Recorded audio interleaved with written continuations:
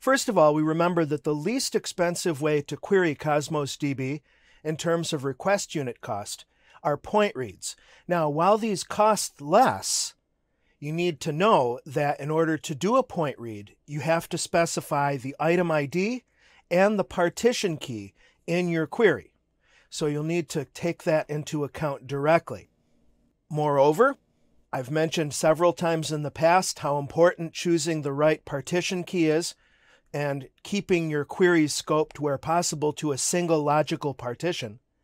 Single partition queries always cost at least 2.3 RUs, even if you know the ID and the key.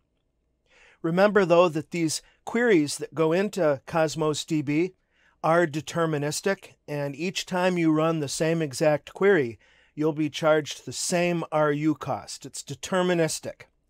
And then here is a sample select statement where we're just bringing some row filtering with a complex where clause, where and and. Pretty straightforward.